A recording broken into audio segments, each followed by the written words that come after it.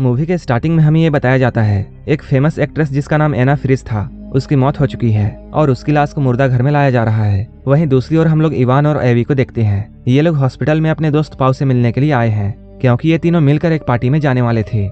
लेकिन पाव की शिफ्ट एक घंटे बाद खत्म होने वाली थी।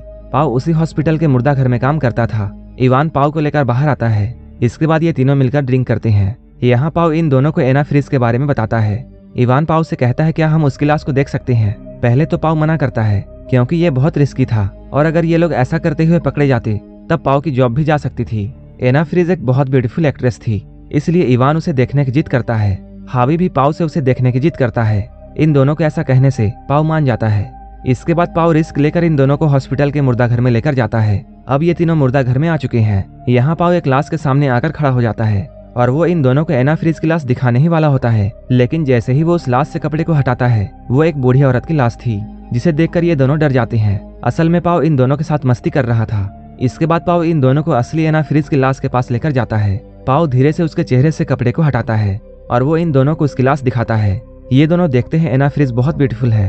उसे देखकर इवान उसकी बॉडी से थोड़ा और कपड़ा हटाता है और वो उसके प्राइवेट पार्ट को छूता है। हावी को ये सब देखकर बहुत अजीब लगता है, क्योंकि ये लोग एक लाश के साथ ऐसा कर रहे थे। इसके बाद इवान हावी से ये कहता है, अब तुम इसके प्राइवेट पार्ट को टच करो।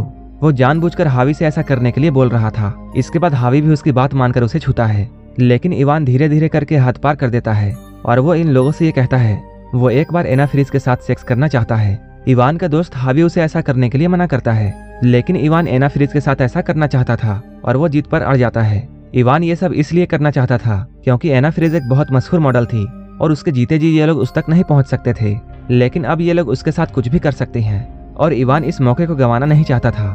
जब इवान इन दोनों से ये बातें कर ही रहा होता है, तभी पाव इवान को ये बताता है, उसने भी एक बार एक लाश के साथ सेक्स किया था, और वो लड़की सत्रह या अठारह साल की थी। यहाँ पाव भी इवान का साथ देता है, और वो भी एना फ्रिज के साथ इंटीमेट होना चाहता था। लेकिन यहाँ हावी ही ऐसा बंदा था जो कि इन दोनों को गलत करने से रोक रहा था, लेकिन अभी वो अपने दोस्तों के साथ था, इसलिए वो तो इन दोनों को नहीं रोक पाया, लेकिन वो इन लोगों से कहता है, वो ऐसा खुद नहीं करेगा, इसके बाद ये तीनों मिलकर ड्रग्स लेते हैं। कुछ देर के बाद, पाव और हावी एक दूसरे रूम में आ जाते हैं, वहीं इवान एना के साथ इंटीमेट हो रहा था। इवान के बाद पाव वहाँ जाता है, और वो भी एना के साथ वैसा ही गलत करता है। जब पाव उसके साथ ऐसा कर ही रहा होता है, तभी हम लोग देखते हैं, एना की आँखें अचानक खुल जाती हैं। इसका मतलब ये था कि एना अब ज़िंदा हो चुकी है, और वो बिल्कुल होश में है। पाव एना के साथ इंटीमेट होने में बिज़ी था, और उसे ये जरा भी ख्याल नहीं था कि एना ज़िंदा हो चुकी है। लेकिन जैसे ही वो एना की आँखें खुली देखता है, वो बहुत डर जाता है और जोरों से चिल्लाकर दूर हटता है। उसके चिल्लाने की आवाज़ सुनकर इवान और हावी उसके पास आते हैं। पाव इन दोनों को बताता है, एना अब ज़िंदा हो चुकी है। एना के ज़िंदा होने पर इवान और पाव टेंशन में आ जाते हैं, क्योंकि एना ने पाव को देख लिया था कि वो उसके साथ गलत काम कर रहा है। इसका मतलब ये था, अगर एना यहाँ से बाहर ज़िंदा जाती है, तब वो पुलिस को पाव के बारे में बता देगी। कि मुर्दा घर में उसके साथ क्या किया गया था। और अगर पाव अरेस्ट होता है, तब इवान भी नहीं बच पाएगा। इसलिए ये दोनों मिलकर एना को मारने का प्लान बनाते हैं, क्योंकि ये दोनों अपने लाइफ के साथ रिस्क नहीं लेना चाहते थे। लेकिन इधर हम लोग हावी को देखते हैं, जो कि एना की मदद करना चाहता था, और वो एना को कपड़े पहनाता है। हावी इन दोनों की बात से एग्री नहीं करता है। वो इन लोगों से कहता है, वो दोनों कैसे किसी को मार सकती हैं? तुम लोगों ने उसके साथ गलत किया है, इसलिए अब तुम उसके साथ और भी गलत नहीं कर सकते हो। यहाँ इवान और हावी के बीच में बहस होती है। इन दोनों के बीच में बहस इतनी बढ़ जाती है कि बात हाथापाई पर उतर आती है। यहाँ इवान हावी को बहुत मारता है। इवान हावी को मारे जा रहा था। तभी पाव यहाँ आकर इवान को रोकता है। जब इवान का गुस्सा शांत होता है, तब वो देखता है, उसने गुस्से में आकर हावी को बहुत मार दिया है और हावी के सर से बहुत ज़्यादा खून बह रहा है। ये लोग हावी का इलाज करने की सोचते हैं। लेकिन कुछ देर पहले पाव का एक कली के क्लास को लेकर यहाँ आया था और उसने जाते हुए दरवाजे को बंद कर दिया था। उस वक्त ये तीनों उसे देखकर छिप गए थे। और अब ये लोग बाहर नहीं जा सकते थे, और ना ही ये लोग हावी का इलाज कर सकते थे। इधर हम लोग एना को देखते हैं, जो अपने आप को बचाने के लिए कुछ भी नहीं कर पा रही थी, क्योंकि वो काफ़ी घंटों बाद ज़िंदा हुई थी, इसलिए उसके पैर अभी भी पैरालाइज्ड थे, और उसके कुछ बॉडी पार्ट्स अच्छे से काम नहीं कर रहे थे। इसके बाद इवान और पाव मिलकर, एना और हावी को एक दूसरे रूम में शिफ्ट करते हैं। कुछ देर के बाद पाव अपने कलिक को यह कहता है कि वो मुर्दा घर में लॉक हो गया है, इसलिए वो जल्दी यहाँ आकर उसे निकाले। पाव जल्दी से अपने कपड़े बदलता है। इसके बाद पाव का कलिक यहाँ आता है। एना जैसे ही किसी की आहट यहाँ सुनती है, वो ज़ोर से चिल्लाकर उसे बताने की कोशिश करती है। लेकिन इवान उसके मुँह को दबा लेता है। इधर पाव अपने कलिक से मुर्दा घर की चाबी लेता है, और वो अपने कलिक के साथ बाहर चला जाता है। इधर इवान हावी को होश में लाने की कोशिश कर रहा था, क्योंकि हावी अब सांस नहीं ले रहा था। उसे देखकर इवान बहुत घबरा जाता है। एना इवान से यह कहती है, शायद हावी अब मर चुका है। इधर कुछ ही देर बाद पाव फिर से वापस आता है। यहाँ आकर जब वो हावी को देखता है, तब उसे ये पता चलता है, हावी अब मर चुका है। ये देखकर पाव डर जाता है। और वो रोने लगता है। लेकिन इवान उससे कहता है, उसने जानबूझकर हावी को नहीं मारा है। ये तो बस अचानक हो गया। ये बस एक एक्सीडेंट है। और इसमें हमारी कोई भी गलती नहीं है। एना, इनकी बातों को सुनकर इन दोनों से ये कहती है, इसके लिए तुम्हें जेल होगी। इसके बाद ये दोनों बाहर आते हैं। इवान पाव से कहता है, अगर हम दोनों ये सब करने के लिए पकड़े गए, तब हमारा फ्यूचर बर्बाद हो जाएगा। इसलिए हमें हावी की बॉडी को ठिकाने लगाना होगा और एना फिर इसको मारना होगा। अंदर हम लोग एना को देखते हैं। जो कि अपने आप को बहुत कोशिश के बाद नीचे गिराती है, और वो जल्दी से हावी के पास जाकर उसके पॉकेट से फ़ोन निकालती है। वो यहाँ अपनी मदद के लिए फ़ोन लगाती है, लेकिन तभी इवान और पाऊ अंदर आते हैं, और जल्दी से एना के हाथ से फ़ोन छीन लेते हैं। इवान जब फ़ोन को चेक करता है, तब वो देखता है एना ने किसी को कॉल लगा दिया था। एना इन दोनों से कहती है, उसने अपने पिता को फ़ोन करके सब कुछ बता दिया है, और वो उसे लेने के लिए यहाँ आ रहे हैं। अगर वो लोग उसे जाने देंगे, तब वो बाहर की दुनिया को उनके बारे में कुछ भी नहीं बताएगी। इवान और पाओ उसकी बात सुनकर डर जाते हैं। और वो उसकी बातों को मान जाते हैं। इसके बाद ये लोग उसे बाहर ले जाने लगते हैं। जब ये लोग उसे बाहर ले जा रहे होते हैं, तभी फिर से उनके पास उसी नंबर से कॉल आता है। इवान कॉल को पिक करता है। उधर से एना के फादर ये कहते हैं, कुछ देर पहले वो इस कॉल को नहीं ले पाए थे, इसलिए उन्होंने अभी कॉल किया है। अपने फादर के फ़ोन को सुनकर एना ज़ोर ज़ोर से चिल्लाती है, लेकिन ये लोग अपने हाथों से उसके मुँह को बंद कर देते हैं। इवान उसके फादर से ये कहता है, ये एक रॉन्ग नंबर है, और दोबारा इस पर कॉल मत करना। इसके बाद ये लोग उसे बाहर ले जाने के बजाय फिर से मुर्दा घर में लाते हैं। इवान बहुत गुस्से में था और इवान यहाँ लाकर उसे जोरदार थप्पड़ मारता है। एना उससे कहती है, तुम्हें इन सब के लिए ज़रूर सजा मिलेगी। इवान उससे कहता है, तुम कुछ देर पहले एक क्लास थी और तुम फिर से एक क्लास बनने वाली हो। कुछ देर बाद इवान कंटेनर लेने के लिए चला जाता है, ताकि वह हावी की बॉडी को ठिकाने लगा सके। इधर पाव एना के हाथ पाव बाँध देता है। यहाँ एना उससे बोलती है, तुम्हें इवान का साथ देने की ज़रूरत नहीं है। वो बहुत बड़ा कमीना आदमी है और उसने तुम्हारे दोस्त हावी को मार दिया है। पाव उससे बोलता है, उसने जानबूझकर हावी को नहीं मारा है। वो तो बस एक एक्सीडेंट था। और उसने गुस्से में आकर ऐसा कर दिया। एना उससे कहती है, वो एक एक्सीडेंट नहीं था।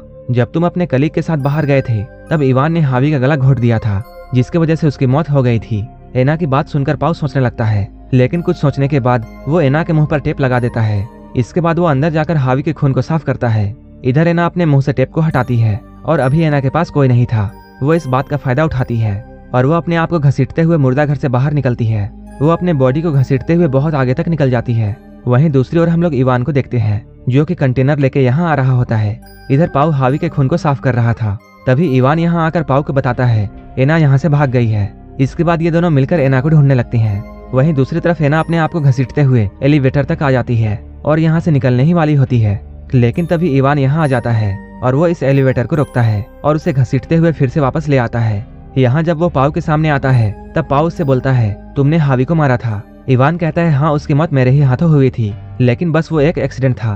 पाओ उससे कहता है, नहीं, ऐसा नहीं हुआ था, बल्कि तुमने उसका गला घोटा था। ये सुनकर इवान बहुत शौक होता है, और वो थोड़ा डर जाता है। इसके बाद इवान इन सारी बातों से इनकार करता है, और वो पाव से कहता है, ये सबको झूठ है, तुम्हें मुझ पर भरोसा करना चाहिए, न कि इस लड़की पर। इसके बाद ये लोग डिस्कस करते हैं एना को किस तरह से मारा जाए, जिससे कोई भी सबूत ना रहे, और खून भी इधर उधर ना फैले।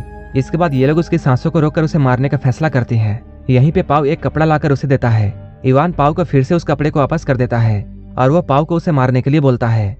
लेकिन पाव एना को मारना नहीं चाहता था, क्योंकि वो एक कातिल नहीं है। इवान ये देखकर बहुत गुस्सा होता है, क्योंकि हावी को भी उसी ने मारा था, और वो अब इन दोनों कत्ल को खुद करना नहीं चाहता है। इसके बाद इवान पाव का हाथ पकड़ता है, और ये दोनों एक साथ एना के मुँह पर कपड़ा रखते हैं। ये लोग देखते हैं, कुछ ही देर बाद एना फिर से मर चुकी है। इसके बाद ये दोनों एना को स्ट्रेचर पर रखते हैं और हावी को कंटेनर में डालते हैं। इवान उस कंटेनर को लेकर चला जाता है। इधर पाव एना की बॉडी को साफ़ करने लगता है। वहीं दूसरी तरफ़ इवान हावी की बॉडी को ठिकाने लगाने के बाद वापस आने लगता है। इधर पाव ने एना की बॉडी को पूरा क्लीन कर दिया था। उसने और इवान ने मिलकर सब कुछ यहाँ ठीक कर दिया था और वो अब इस मुर्दा घर से जाने ही वाला था। जाने से पहले पाव एना के चेहरे से फिर से कपड़े को हटाता है। वो देखता है एना अभी भी ज़िंदा है। पाव एना से कहता है, तुम बिल्कुल शांत रहना। कुछ देर पहले इवान और पाव ने तो एना को मार दिया था। लेकिन अभी भी एना ज़िंदा कैसे है? इसके जवाब के लिए हम लोग फ्लैशबैक में जाते हैं। जब पाव एना के हाथ पैर को बाँध रहा था, तब एना ने पाव से कहा था, तुम्हारे दोस्त हावी को इवान नहीं मारा है, और वो कोई एक्सीडेंट नहीं, बल्कि उसने उसका गला घोटकर मार दिया था। ये सुनकर पाव एना के साइड हो जाता है, और ये दोनों मिलकर एक प्लान बनाते हैं। इसके बाद जब ये दोनों लोग एना का दम घोट रहे थे, तब एना ऐसा नाटक करती है, जैसे उसका दम घुट चुका है, और वो मर गई है, क्योंकि एना एक एक्ट्रेस थी। उसे एक्टिंग करना बहुत अच्छे से आता था। इसके कुछ देर बाद, इवान हावी की बॉडी को ठिकाने लगाकर फिर से यहाँ वापस आता है, जिसके बाद पाव और इवान यहाँ से निकलने लगते हैं। जाने से पहले इवान अपना पर्स चेक करता है। वो देखता है उसने अपना आईडी कार्ड मुर्दा घर में ही छोड़ दिया है। इसके बाद इवान अपना आईडी कार्ड लेने के लिए फिर से मुर्दा घर में जाता है। पाव उसे रोकने की कोशिश करता है, लेकिन इवान अंदर आ जाता है। वो यहाँ आकर देखता है, एना ज़िंदा खड़ी है। एना को ज़िंदा देखकर इवान पाव पर बहुत गुस्सा होता है और वो गुस्से में आकर उसका गला दबाने लगता है। उसने कुछ देर पहले अपने गुस्से में हावी को मार दिया था और वो अब फिर से गुस्सा होकर पाव को भी नहीं मारना चाहता था, इसलिए वो उसे छोड़ देता है। लेकिन तभी एना पीछे से आती है और वो इवान पर चाकू से हमला करती है और उसके गले में बहुत सारे चाकू मारती है। वो एक कैंची लेकर इवान का गला काट देती है, जिससे इवान की यहीं पर मौत हो जाती है। पाओ एना से कहता है, हम दोनों को ऐसा नहीं करना चाहिए था। तभी एना पाव के पास जाती है और वो उस कैंची को पाव के पेट में घुसा देती है। ऐसा करके एना इन दोनों से अपना बदला ले लेती है। एना के बदले के साथ ही ये मूवी यहीं पर खत्म हो जाती है। अगर आपको ये मूवी अच्छी लगी हो, तब एक लाइक ज़रूर कर देना। और ऐसे ही मूवीज़ के लिए मेरे चैनल को ज़रूर सब्सक्राइब कर लेना। तो मिलते हैं हमारे नेक्स्ट वीडियो में।